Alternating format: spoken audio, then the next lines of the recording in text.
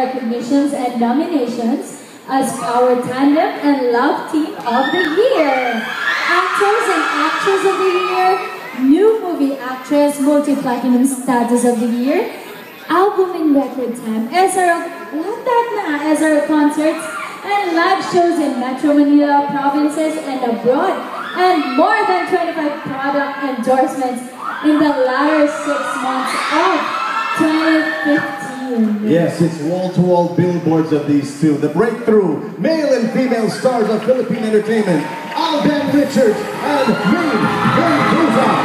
Presenting the award from the Guillermo Foundation, Councilor Aika Sanchez and Mr. Alan Penco.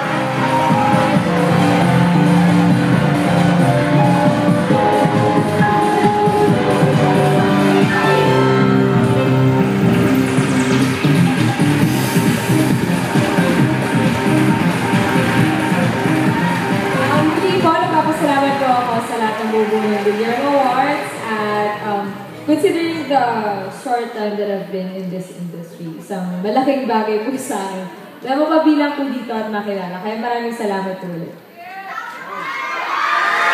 Uh, thank you so much po to Guillermo Awards.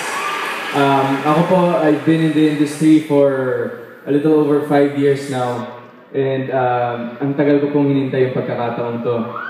So maraming maraming salamat po sa pagkakataon binigay niyo sa lahat po na nagmamahal sa amin ni Maine, sa Aldenatics, sa Aldab Nation, sa Maychard, sa Mainsters, lahat po ng mga fans clubs na sumusuporta at nagmamahal sa amin, maraming maraming salamat po.